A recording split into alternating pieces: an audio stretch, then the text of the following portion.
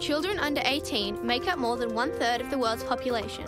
In 2017, there were approximately 2.5 billion children, and on current trends, another 2 billion will be born by 2025. In New South Wales alone, there are currently 1.7 million children.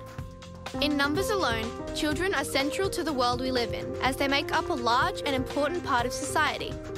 Investing in children is both an opportunity and a duty.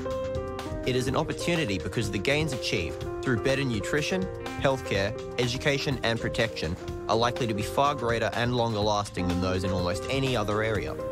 And it is our duty because children everywhere have human rights from the very beginning of their lives. These rights include the right to survive and develop, to be protected from violence, abuse, and exploitation, to have their views respected, and have actions concerning them to be taken in their best interests. These rights are found in a number of treaties and international standards, most importantly in the 1989 Convention on the Rights of the Child, CRC. The CRC matters more than many people imagine.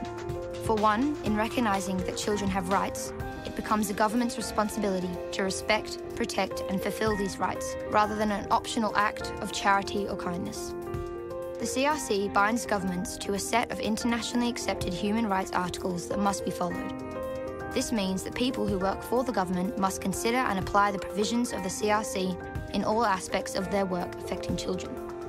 The CRC provides a way to monitor government's progress on children's rights and a basis for children's organisations, advocates, and children themselves to argue for change.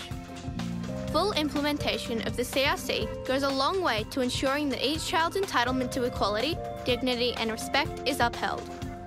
There's been a long standing focus on protecting vulnerable children as a charitable response to suffering. However, at the start of the 20th century, some activists started promoting the idea that children should have rights.